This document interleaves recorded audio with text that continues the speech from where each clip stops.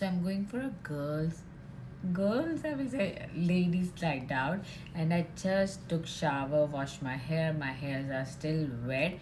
So it's 3.15 and i have to leave from home at 6.30 but still i'm deciding to do this heatless curls hopefully i will get the result. I'm not sure whether in wet hairs will get the result or not.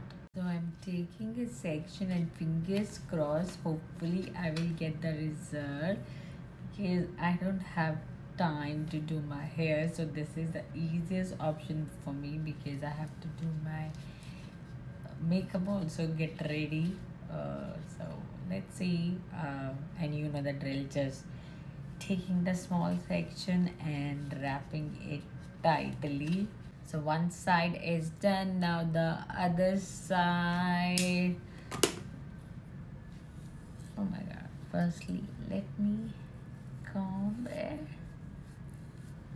then oh my god taking the section. Now uh, i think so i am pro in this one before i was not.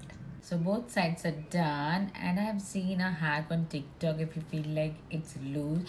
You just push it like this so it became tighter. So i will see you in few hours then we'll see whether we'll get the result on wet hairs or not